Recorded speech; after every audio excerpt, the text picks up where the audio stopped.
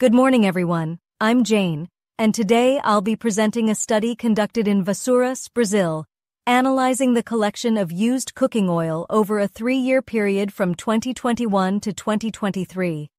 This research highlights important environmental management practices at the municipal level. Let's start with why this matters. Used cooking oil represents a major environmental challenge, but it also presents opportunities. This waste product has significant potential for reuse in various applications, including biodiesel and detergent production.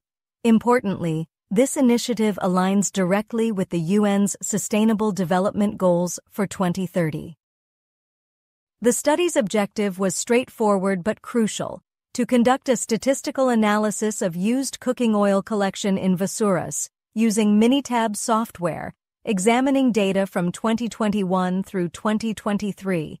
This analysis helps us understand collection patterns and effectiveness. The methodology combined several analytical approaches. After a comprehensive literature review, the team collected and analyzed data using Minitab software. They employed three key statistical tests.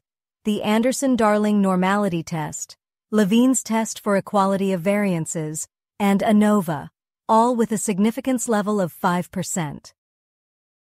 Looking at the collection data over the three-year period, the company collected a total of 36,467 um, liters of used cooking oil, averaging about 12,156 liters annually. The monthly collection volumes show interesting variations, which we'll examine more closely in the following slides. This box plot reveals interesting patterns. Notice how 2023 showed greater dispersion in collection volumes, with more extreme values. In contrast, 2021 and especially 2022 demonstrated more stable collection patterns, with 2022 showing the most consistent monthly volumes. The Anderson-Darling normality test confirmed that our data followed a normal distribution, with a p-value of 0.123, exceeding our significance level of 0.05. This validation was crucial for proceeding with our parametric tests. The equality of variances test showed homoscedasticity among the groups, with a p-value of 0.425. In simpler terms, the variances were statistically equal across the years, meeting another important condition for our analysis. The ANOVA results revealed no significant statistical difference between the mean volumes collected across the three years, with a p-value of 0.592. This suggests that collection volumes remained relatively stable throughout the study period.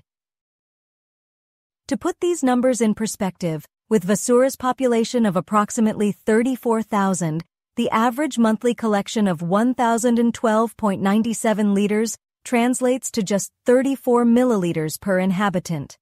This suggests significant room for improvement in collection rates. Our statistical analysis confirmed normal distribution and equal variances across the years, with no significant differences in collection volumes. This stability, while positive, also indicates a lack of growth in the program, suggesting the need for enhanced community engagement. This research was made possible through collaboration with the private collection company and support from the universities of Vassouras and Mendoza. The complete list of references is available in the paper for those interested in exploring the methodology and context further.